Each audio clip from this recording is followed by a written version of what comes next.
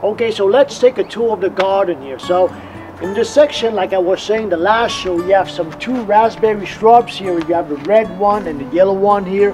Some uh, rose shrubs. And I think in the middle we'll be planting some beans uh, or something that will be climbing the trellis here.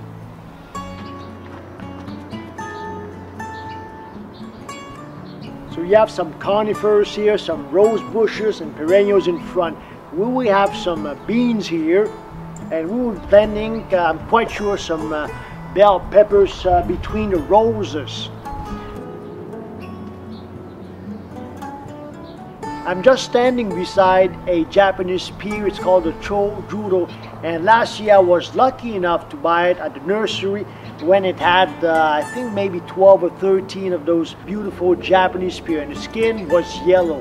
And during the whole season, my kids, they were always going around it and wanting to uh, take one and just eat them and they were very good. And hopefully this year the pear tree is going to give us uh, some beautiful Japanese pear and in this section uh, we'll be planting a few tomatoes here.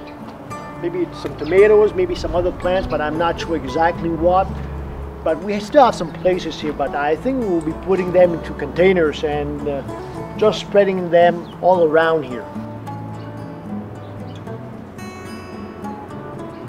Okay, so just beside the pear tree, this section, we'll be planting some uh, corn. Corn here. It's to be quite tall here, around uh, six, seven feet. I think we'll be planting three plant corn uh, per per location, and hopefully by the end of summer, mm, we're to have some corn to eat.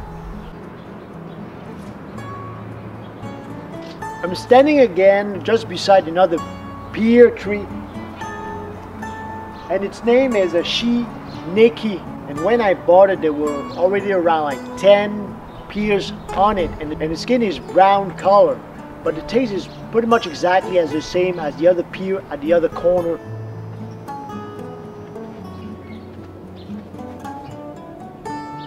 So I'm standing just beside a cherry tree, and this one is called the Romeo.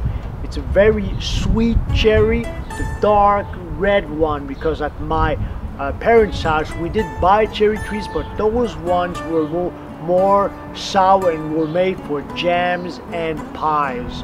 And around the cherry tree we will be planting vegetables in containers. I'm standing just beside the shed. We'll be installing a trellis here and I'm quite sure we'll be planting some cucumbers and other climbing plants that will give vegetables. So if you like what you see, give us a thumbs up subscribe to follow our videos. So thank you for watching Gardening My Backyard and see you next time.